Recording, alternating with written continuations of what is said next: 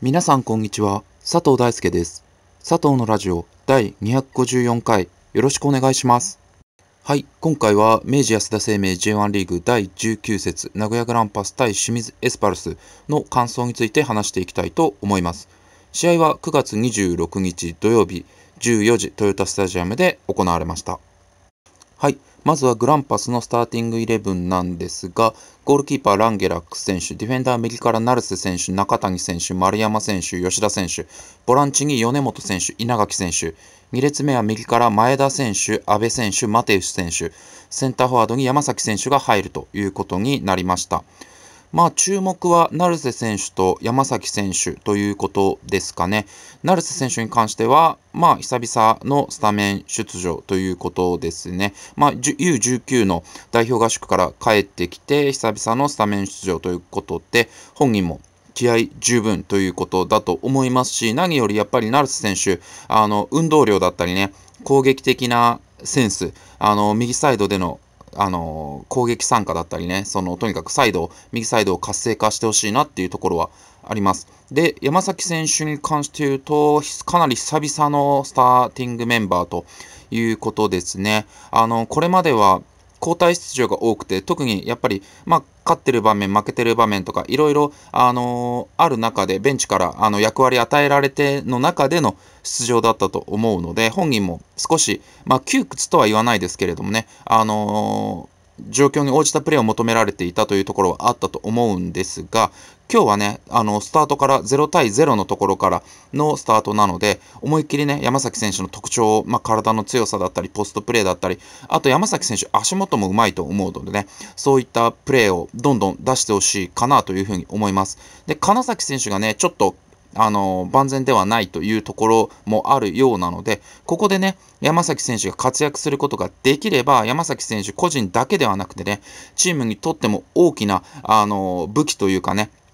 今後、あのもう一度上を目指す中で、山崎選手の活躍というのは非常に重要だと思うので、山崎選手にも期待したいなと思います。で、中央には阿部選手が入っているということで、まあ、山崎選手のフォローだけではなく、全体のバランスを取るという役割が与えられていると思いますし、11人並べてみると非常にいいバランスの11だと思いますので、期待したいなと思って見ておりました。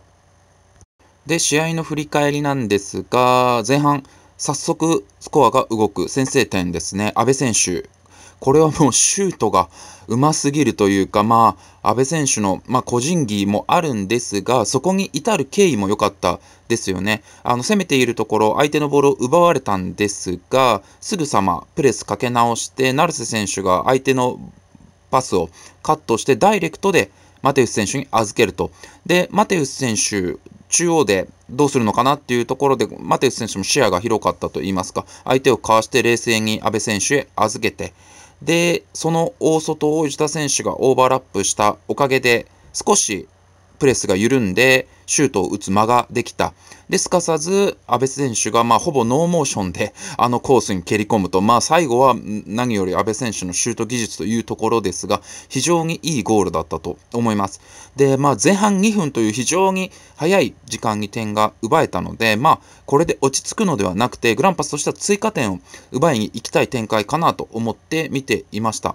で、その後もかなり、あの、いいチャンスありました。あのコーナーキックだったりね、あのマテウス選手のフリーキックだったり、かなりチャンスがある中で、前半25分に追加点が生まれると。前田選手が飛び出して、1対1、ゴールキーパーをかわして、冷静に流し込むというか、ぶち込むというか、いうことですね。前半25分、非常にいい時間帯に追加点が奪えた。で、これ、アシスト、山崎選手ですね。山崎選手、相手、後ろを背負いながらも、あの、潰れずにうまくすぐ体勢立て直して、前田選手に非常にいい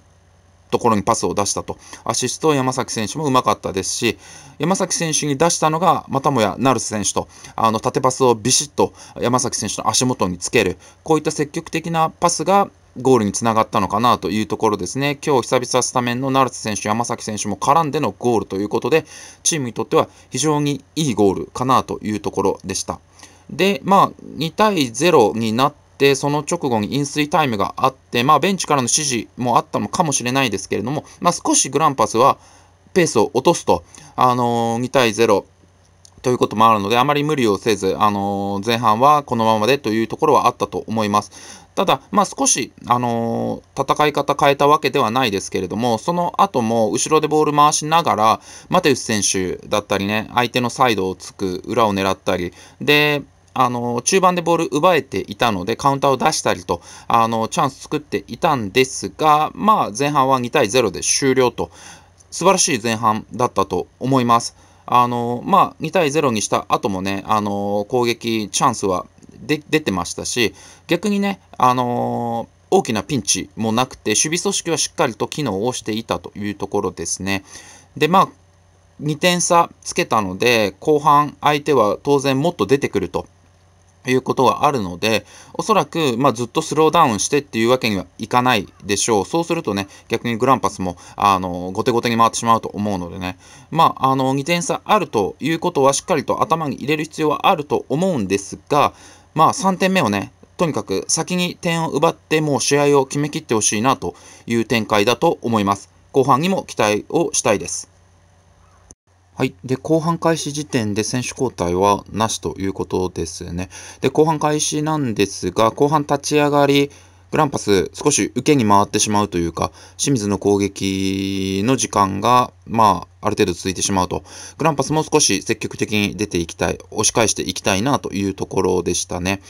後半16分に山崎選手アウト、金崎選手イン、前田選手アウト、相馬選手インと。で、まず山崎選手、あの、先発で非常に良さを出したんじゃないのかなと思います。体の強さだけではなく、まあ、ポストプレーでしっかり味方につなぐ足元だったりね、あと自身もあのクロスに飛び込んでチャンスを作ってっていうところで、まあ、ゴール奪えれば文句なしでしたが、あの前田選手のゴールをアシストしたりとね、あのいい活躍だったと思います。今日の出来だとね、またスタメンのチャンスあるんじゃないのかなと思います。なので、得点の機会は次に期待かなというところですね。で、前田選手はナイスゴールでしたね。あのー、山崎選手の素晴らしいラストパス、落ち着いてゴールキーパーをかわしてゴールというところですね。まあ、少し万全ではない、まあ、打撲のようですけど、怪我もあるようなので、まあ、しっかりとね、休んで、次戦以上以降に期待したいなというところです。で、代わりに入った山崎選手、相馬選手、ちょっとね、あの、グランパス押されているというところもあるので、フレッシュな選手がチームにね、あの、勢い、活性化させてほしいなというふうに思っていました。で、後半23分に飲水タイムがあって、まあ、この辺りからは徐々にグランパスもボールが保持できて、攻撃の形が出るようになっていたので、まあ、いい攻撃が出ている時間帯に、まあ、追加点奪ってほしいなと思っていました。で、後半29分にその待望の追加点が生まれると、丸山選手のゴールですね。コーナーキックからですね。コーナーキック、今日マテウス選手のキック、まあ今日もと言った方がいいかもしれないですけど、非常に良かったですね。前半も山崎選手にピタリと合うキックもありましたし、あの、セットプレーからのチャンスあったので、それが結実した大きいですね。ここでセットプレーから得点を奪えるというのはやっぱチームにとっても大きいですし、やっぱ何よりもね、キャプテン、丸山選手が決めたということはね、チーム全体の士気も上がるんじゃないのかなと思って見ていました。で、後半34分に吉田選手アウト、太田選手イン、阿部選手アウト、シャビエル選手イン。まあ、吉田選手、阿部選手、両選手ともおそらく万全な状態ではないと思うので、まあ、3点差もつきましたし、あの、大事を取ってではないですけれども、まあ、休みを少し、あの、取ってもらいたいなというところだと思います。で、まあ、阿部選手、まあ、あの、前半の先制点の場面は、まあ、圧巻というか、さすがのシュート技術というところでしたが、それだけではなくてね、やっぱりパスの散らし方、非常に、あのー、効いていたかなと、視野が広いなと、あの後ろでボール受けて、あの逆サイドに何気なく散らしていたりというのが、非常にグランパスの攻撃を活性化させてたと思います。この辺りやっぱりね、なんていうんですかね、サッカー IQ が高いというか、グランパスにとって今後ね、あのもっともっとコンディションを上げてきてほしいなという選手ですね。で、まあ吉田選手も、あのーコンディションが万全ではないと言われているにもかかわらず、さすがの運動量、守備の強さというところを見せてくれていたのでね、まあ、両選手ともしっかりと休んでほしいなというところですね。ただ、ただ後半の43分に失点をしてしまうと。まあ、今日はね、非常にいい流れで来ていたので、うん、無失点で終わらせてほしかったですし、そうしなければいけない試合だったかなというふうには思います。この時間帯、やっぱりボールの奪われ方もそうですし、ちょっと全体的にね、ルーズになってきていたなというところで失点につながってしまったと。で、失点と同時に、まあ、マテウス選手、ちょっと足をつってしまっていたようなところもあるので、マテウス選手に代えてシミッツ選手が入ると。ただ今日やっぱりマテウス選手、今日もですけど、やっぱり攻守に非常に運動量豊富でしたし、あの攻撃はもちろん守備のところでもね、しっかりと相手のボール奪ってくれたりしていて、やっぱり効いている。で、セットプレーのキッカーとしても、やっぱりもう欠くことのできない選手になっていますね。攻撃を牽引している選手だと思います。で、まあ、交代したんですが、失点してからは防戦一方と、まあ当然得点が入れば相手にも勢い出ますし、まあ、うん失点自体グランパス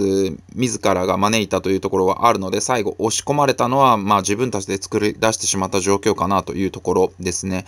で、その後何度か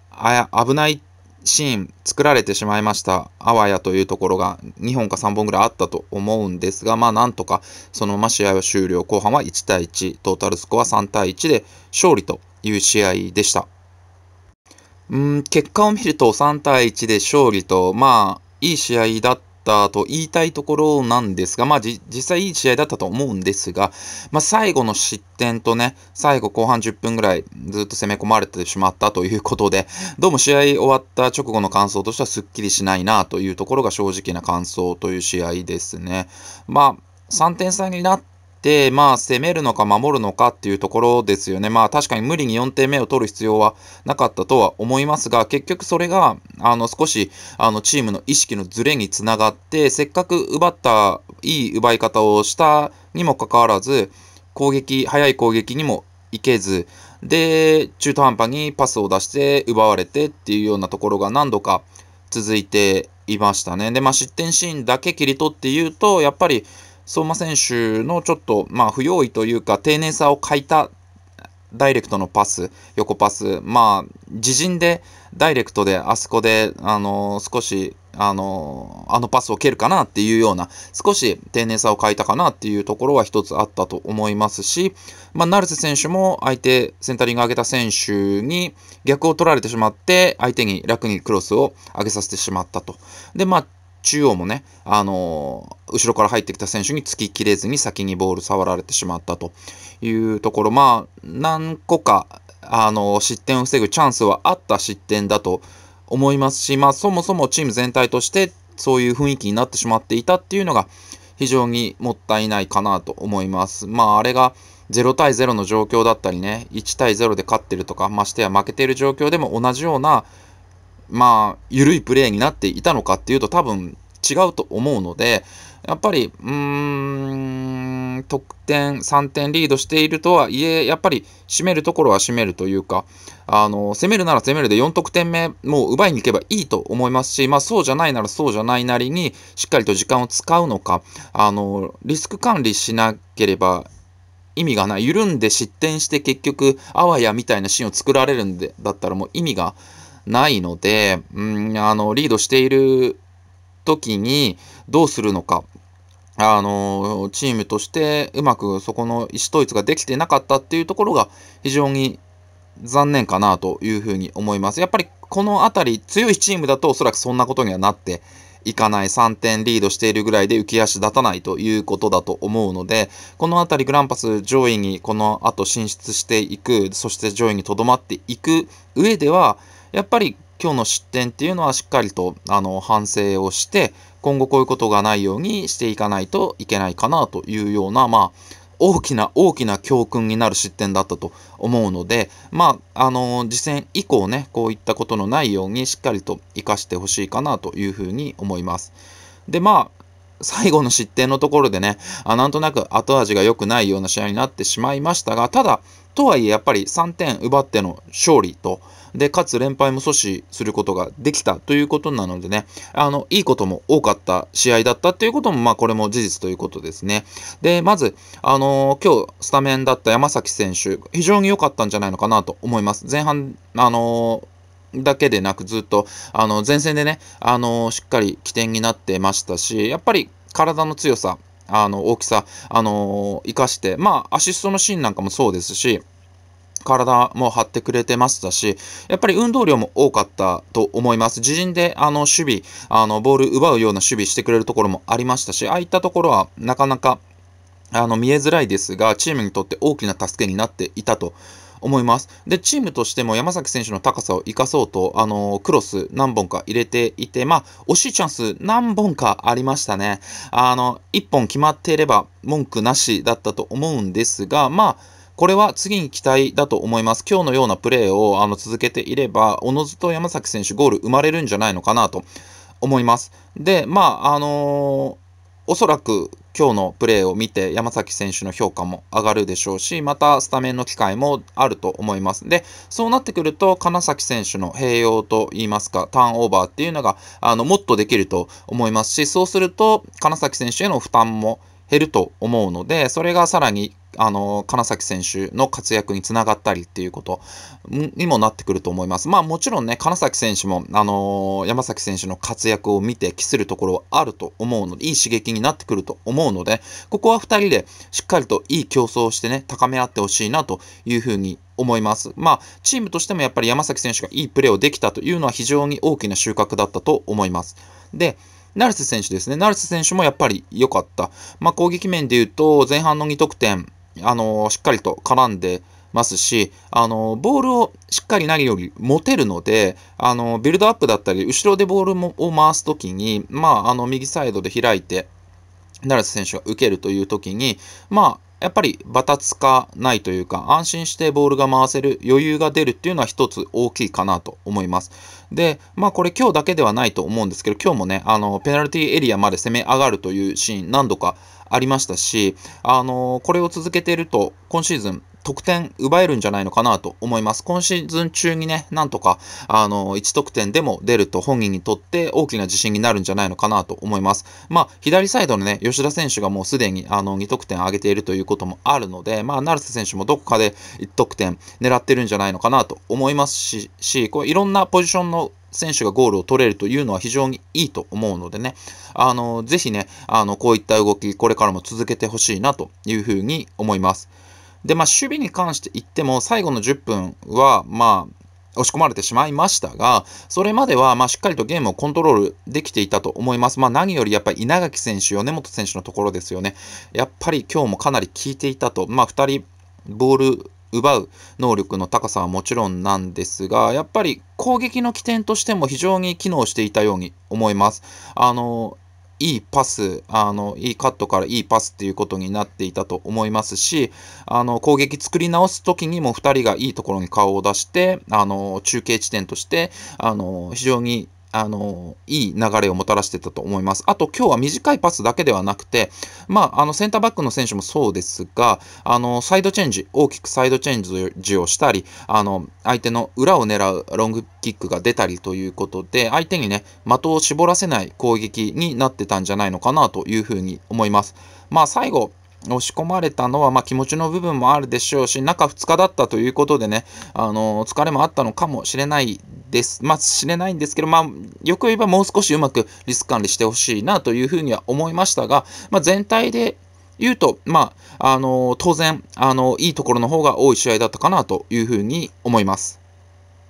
はい。で、グランパスは次戦、水曜日に試合があります。また水曜日に試合があるということで、過密日程なんですが、アウェイで神戸との一戦となります。まあ、あの、神戸近いところでやっていて勝利は収めているんですが、神戸ちょっと監督が変わったりしていたりと、ちょっとその当時とは状況が変わっているので、ちょっと読みづらいですね。チームの状況が読みづらいというところはあるかと思います。まあ、ただ、グランパスとしては、やっぱりまずは自分たちでしっかりと、まあ、守備組織、あのコンパクトに組織をして、前からしっかりプレスかければ、あんまり相手にあの多くのチャンスを作られるということはないでしょうし、そこから逆に、ボール奪って、あのチャンスを作るということもできると思います。まあ、神戸もしっかりとボールを保持して攻めてくるっていうスタイルは変わらないと思うので、うまくそこをあの守備網にかけてしまえばチャンスできると思うので、あのグランパス、またね、あの今日のあの前半のようにしっかり守備から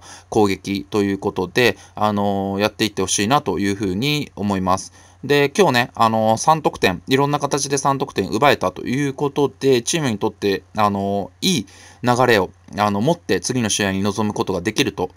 思います。で、得点シーン以外もね、多くのチャンス作れていたので、あの、次戦もね、多くの得点を期待したいかなというふうに思います。で、加えて、守備に関して言うと、次の試合こそ無失点に抑えてほしいな、クリーンシートの試合が久々に見たいなというところだと思います。で、今日勝てたので、まあ、次勝てば連勝ということですね。まあ、上位に残っていく上位進出を伺う上では、やっぱり連勝というのは不可欠、勝ち点3を取るということは非常にやっぱり大きいので、まあ、疲れもある、連戦の疲れもあると思うんですが、次戦もグランパスの勝利を期待したいと思います。